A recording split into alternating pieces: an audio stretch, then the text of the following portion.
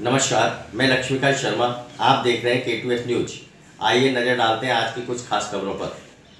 बांसवाड़ा ज़िले के कुशलगढ़ तहसील के ग्राम पंचायत बड़ी सरवा के Mahatma Gandhi senior secondary school की कक्षा छः में इंग्लिश मीडियम होने से छात्रों को काफ़ी परेशानी का सामना करना पड़ रहा है।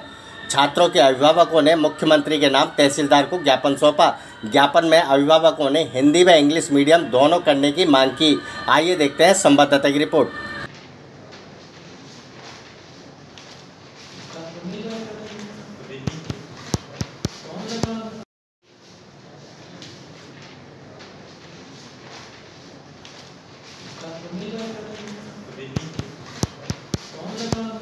ताज़ा खबरों से अपडेट रहने के लिए हमारे चैनल को सब्सक्राइब करें और बेल आइकॉन को दबाएँ।